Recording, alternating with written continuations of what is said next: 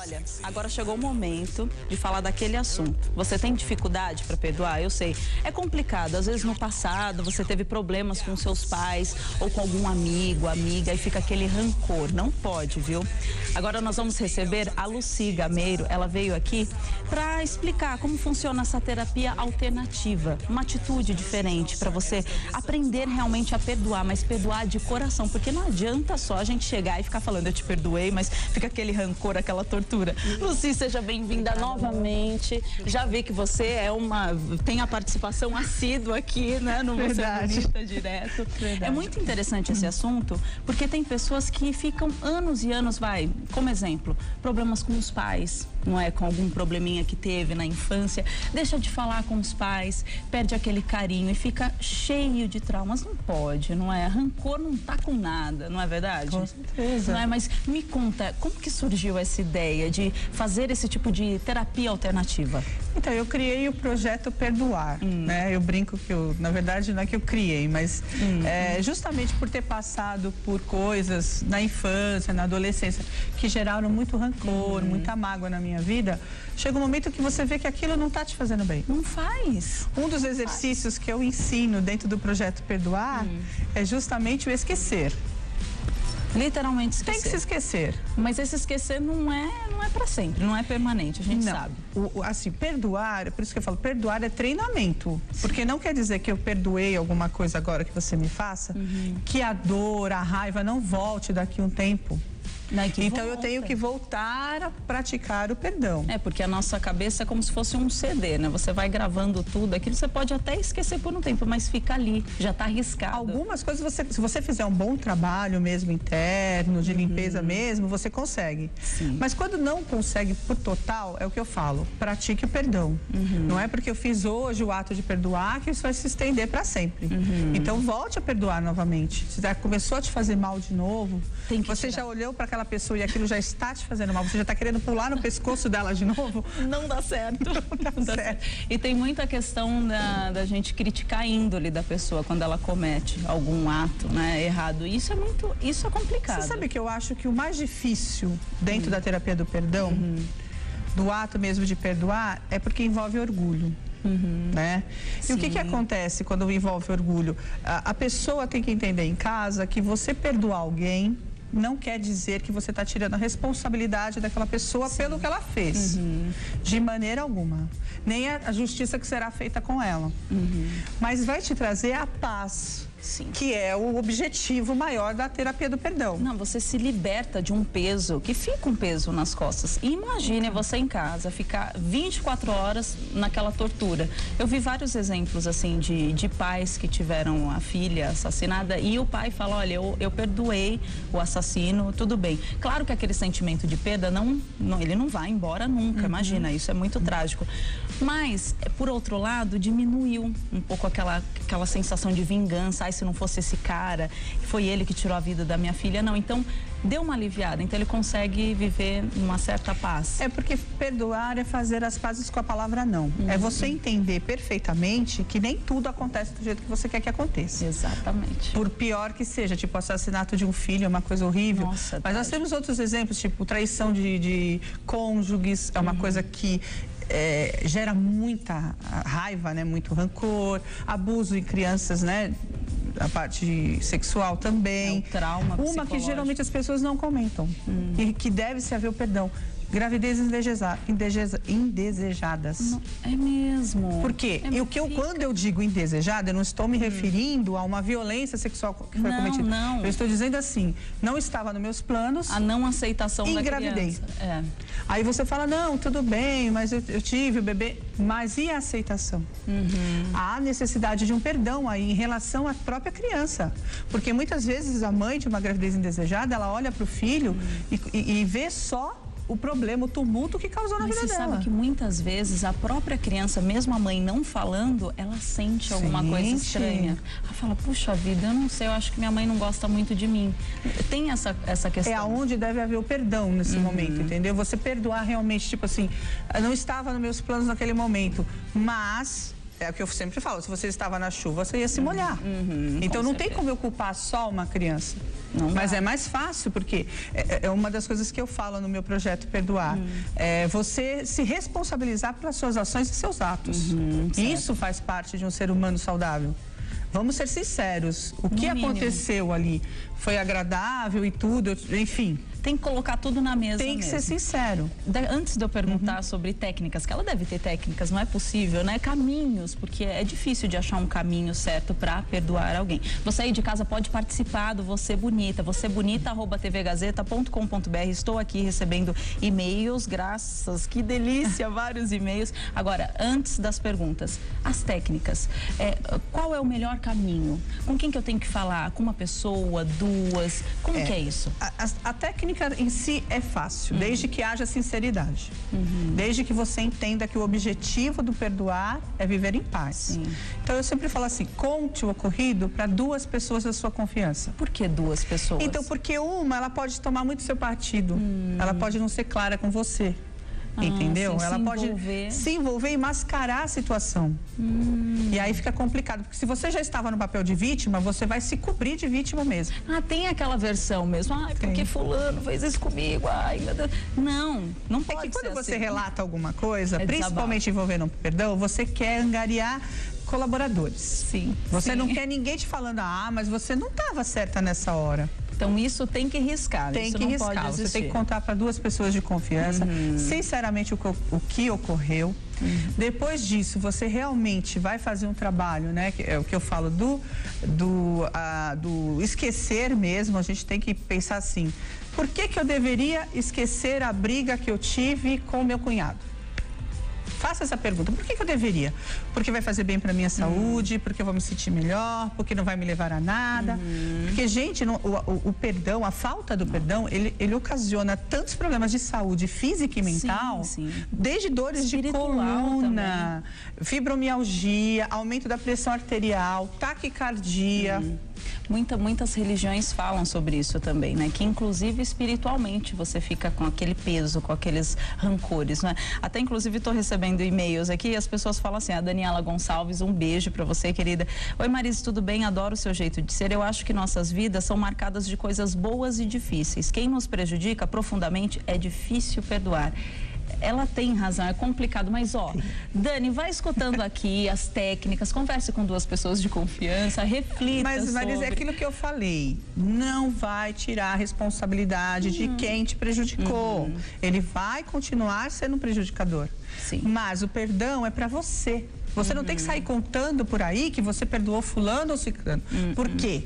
Tem essa versão. Ah, eu sou boazinha, então eu vou contar para todo mundo que eu ah, perdoei. Eu deixei pra lá. Isso não funciona. Tá Isso certo. não é sincero. É o que eu sempre falo para as pessoas: seja bom. Uhum. Bonzinho não é ser bom. É ser bom verdadeiramente. Verdadeiramente. Então eu não tenho que sair contando o que eu faço. Uhum. O que, que eu perdoei, por que, que eu perdoei. Não me interessa. E não necessariamente se um, algum amigo te traiu, ou um namorado, marido, enfim, você não necessariamente tem que manter aquela relação próxima que tinha antes. Você perdoa, fica em paz aqui dentro, que é muito importante e ok, não precisa voltar a ser amigo. Não Perdão essa... não significa reconciliação. Exatamente. As pessoas acham que, ah, eu perdoei, eu vou ter que voltar a conviver, uhum. vou ter que uhum. voltar a falar. Não, não, perdão muitas vezes é separação. É me separar daquela pessoa, desde que não haja o rancor. Porque não adianta eu estar no outro lado do mundo só pensando em coisa ruim, vibrando coisa uhum. ruim, aquela energia ruim para outra pessoa. É realmente fazer da lei do esquecimento uhum. O, o, ato benevolente, tipo assim, é para mim. É comigo isso. Seguir em frente. Seguir em frente. Seguir em frente que vale demais a pena. E o que é engraçado é que tem pessoas que chegam a desenvolver doenças seríssimas por conta desse nível de estresse. Né? Porque, querendo ou não, quando você fica com uma coisa na cabeça, direto, todo dia, full time, martelando ali, mas faz, não é que faz mal, é, prejudica tudo. Você pode perder e venena o corpo e a alma. Exatamente, exatamente. Tem uma, uma pesquisa que foi feita em Michigan a respeito do, da do perdão. Uhum. Então eles colocaram 71 voluntários ali e começaram a incentivá-los a se lembrar de alguma coisa ruim que aconteceu no passado, uhum. que envolvesse outras pessoas. E o que, que aconteceu? Então, aí eles foram vendo que as batimentas cardíacas aumentaram assim consideravelmente, a pressão arterial hum. a tensão muscular, chegou a se desenvolver fibromialgia durante o exercício. Que isso? Aí, depois de um tempo, eles resolveram uh, pegar essas mesmas pessoas e colocaram para fazer a visualização uhum. uh, delas uh, se reconciliando com as pessoas, perdoando aquelas pessoas. E eles notaram que só com um exercício de visualização, as batimentas se normalizaram, a pressão arterial também se normalizou. Uhum. Então, você vê que a reação bioquímica no organismo, através de um pensamento seu errado, é assim devastadora. É, é, impressionante esse poder da mente, não é? É, é devastador mesmo. Devastador. Tanto que às vezes para você ver como o pensamento positivo é tão bom, você fica pensando numa coisa, não, eu vou conseguir aquilo, eu vou e todo dia mentaliza, flui. Imagine você 24 horas é, com aquela tortura de pensar em se vingar, que é horrível. Tudo de ruim é, é uma cadeia de coisas, não é? É você entra na harmonia do negativo. diria, se é que existe isso. Você né? sabe uma coisa que as pessoas também às vezes não comentam em forma de perdão? Muitas pessoas não perdoam Deus. Deus ou quem quer que seja que, em que eles acreditem, qual Tem a religião. Que alguém, sempre. Então, a pessoa fala, mas como assim? Às vezes a pessoa perde um ente querido ela culpa Deus. Ah, por que, que Deus fez isso comigo? Pode ver que é muito comum a pessoa é. falar assim, ah, depois que perde alguém, eu não acredito mais em nada. Hum. Ah, larguei mão, eu não acredito mais em Deus, eu não a acredito mais é em cruel. Não, a vida é cruel arrumou um culpado para a história. É o que eu falei. Uhum. Ela entrou no papel de vítima, uhum. se instalou ali e não quer sair dali. Uhum. Então eu sempre falo, gente, comece a narrar a sua vida de uma outra maneira. Narra como heroína. De repente, porque eles, eles acham que seja mais é, confortável assim culpar alguém do que achar os erros em si mesmo, né? É uma das minhas cláusulas do projeto Perdoar. Assuma a responsabilidade pelos seus atos e ações. Precisava viver aquilo e vamos e seguir. Acabou, faz parte da lei natural da vida, não é com você nem comigo que vai só acontecer. Uhum. Acontece no mundo inteiro a qualquer momento, a toda hora. Aí você fala, volta aquela questão, ah, um filho assassinado. Nossa, é Acontece também, gente. Uhum. A maneira com que você vai deixar esse mundo uhum. não é escolhido por nós, eu acredito, né? Sim, é, é, uma desculpa que você precisa para ir. Porque se fosse assim, você fala, eu vou culpar o médico que não conseguiu Exatamente. realizar a cirurgia, eu vou enfim, você vai viver não culpando o mundo. É, não pode. Não, não, nem tem como. Você precisa encontrar saídas. E é boa, são boas essas técnicas. Eu gostei, porque eu, assim, particularmente, como todo mundo, já vivi coisas e coisas, enfim, mas no fundo, bem no fundo, eu sempre acabei perdoando, porque eu, eu tinha consciência do quão mal fazia, porque faz, faz, e é horrível, você fica num, numa energia tão pesada, tão ruim, que não vale a pena. Então, só recapitulando uhum. as técnicas, para o povo ficar bem, porque hoje em dia a sociedade anda bastante, não julgando, Mas claro, você sabe as pessoas que eu acho, egoístas. Marisa, assim, eu não acredito que exista pessoas boas e más. É Primeiro que para uma coisa acontecer, precisam de duas pessoas. Uhum, tá? Sim. Por mais que você diga, ah, mas eu fui prejudicada.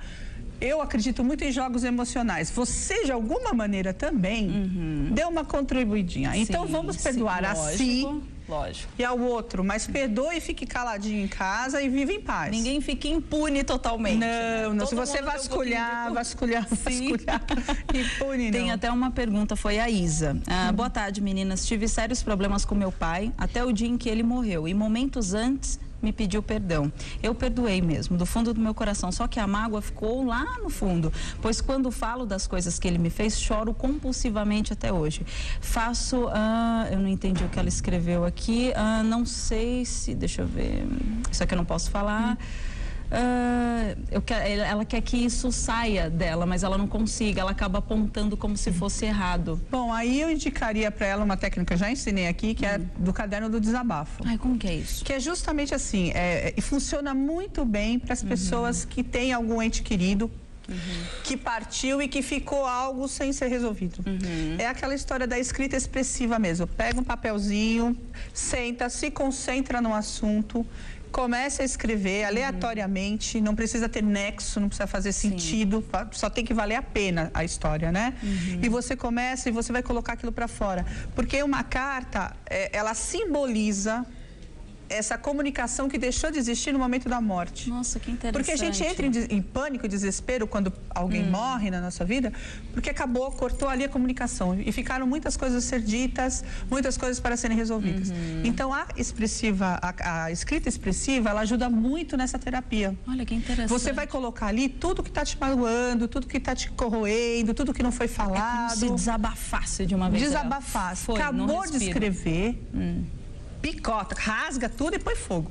Ai, que ótimo. Porque isso simboliza, dentro da psicologia, isso vai simbolizar Sim. uma destruição daquilo. Isso não existe mais no universo. Hum. Isso saiu do seu mental, veio para o plano material, que é a escrita, e quando você destrói. Saiu de você. Saiu de você. Isa, faça isso. Até desculpa uma parte do seu e-mail eu não consegui ler e outra parte eu não pude falar, mas faça isso. Tente escrever, não é? Num caderno. Se, se tiver que escrever o caderno inteiro, escreva, porque é tão bom viver. O perdão é muito saudável, é uma virtude da vida vida, não é? É, é o que a gente fala. Quantas guerras não foram travadas aí Sim. na nossa humanidade por conta de preconceitos, por conta de diferenças? Uhum. E o que alimentavam essas guerras? O orgulho. Sim. Muitas vezes um líder, um, um, um, rei, queria até fazer as pazes, mas os seus conselheiros, não, imagina, você é louco? Você vai baixar a guarda para ele? Você uhum. vai deixar o cara. Não. E é por isso que eu falo: perdão é para você. Sim. É com você. Se você decidiu perdoar alguém, seja lá pelo motivo que você tenha, uhum. é para você. Não saia falando, a não ser que você queira fazer papel de bonzinho. Uhum. E aí não está sendo sincero, isso não vai resolver. É, Adquira o papel de heroína, de herói na sua vida, narre com outras palavras. Que é complicado. Meu pai me magoou, mas eu sobrevivi, eu me transformei, eu não deixei a mágoa uhum. fazer de mim uma pessoa. É, negativa ou doente, né? E você teve algum, se é que eu posso uhum. dizer assim, algum paciente difícil que não, não entendia de jeito nenhum e falou, olha, não dá, levou anos e anos, porque tem, tem ferida Os casos que, é que eu acho que são mais difíceis são justamente a traição entre cônjuges.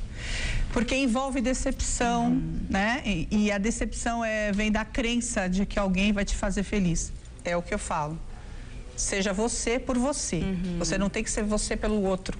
É você não pode se, se entregar, você não pode dar sua vida na mão uhum. de, uma, de um marido, de um filho, de um religioso. Ela é tua vida. Uhum. É você que é responsável pelos seus atos.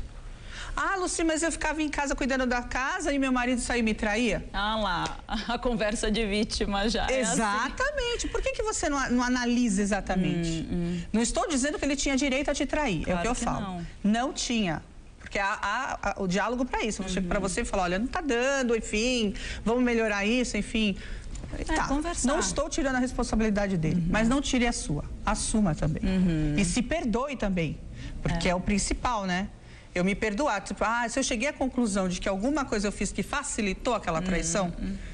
Então vou me perdoar. Mas isso não entra na cabeça da pessoa. Não entra ela... porque ela quer ser vítima a vida Exatamente, inteira. que é complicado. E vai me dar um exemplo de quantos anos alguém conseguiu, tenha conseguido se libertar disso, assim. Ah, não, eu perdoei meu marido, mas perdoei ele lá longe, eu aqui. É difícil, não perdoa 100%, vai. É o que eu te falei, é o treinamento. Quando aquilo volta de novo a te fazer mal, você hum. começa a ter aqueles pensamentos obsessivos novamente. Fala, você fica desejando que ele caia na rua e quebre o pé. Ah, eu quero sabe? que ele morra. Ou então usa seus próprios filhos para se vingar hum, entendeu? Para causar uma dor.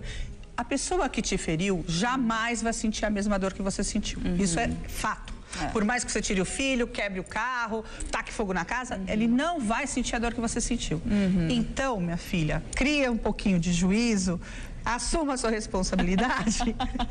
Toma vergonha na e cara. Se separe mesmo, faça um perdão de separação, não de reconciliação. Ai, Luci, olha, eu adorei um papo desse, assim, né? agora, tardezinha, é gostoso para a gente refletir sobre várias coisas na vida, ver que não tá com nada, ficar com rancor dos outros, viver com suavidade e tranquilidade, porque é o que a gente merece. A sociedade anda pesada, amargurada, uhum. né? Eu agradeço. Gente, vocês não têm noção da energia que essa mulher Obrigada. tem. Bem que eu vi até um outro programa que a Carolzinha fez, é demais mesmo. A Carol tinha razão. Obrigada mesmo. Deixa eu passar seus contatos. Ah, eu queria só falar que eu vou ter uma palestra. Ai, conta, conta. É uma palestra gratuita sábado uhum. agora É, essa palestra eu dou chama Cinco Passos para a Felicidade. Um dos passos é o perdoar. Eu quero. É gratuita lá no meu espaço, hum. sábado a uma e meia da tarde, lá no Atitude de Viver. Ai, adorei. Ó, o telefone é 011 583 8535 e o site atitudedeviver.com.br. Ai, Luci, que demais, adorei. Obrigada. Dá um beijo, minha querida. Volte sempre, Obrigada. viu? E passe alegria para esse povo que o povo está precisando, Obrigada. viu? Nossa.